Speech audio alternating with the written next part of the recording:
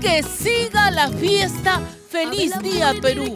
Una y mil voces prepara este especial delicadamente con todos los géneros, con toda la música para celebrar a nuestra patria, a nuestro querido Perú.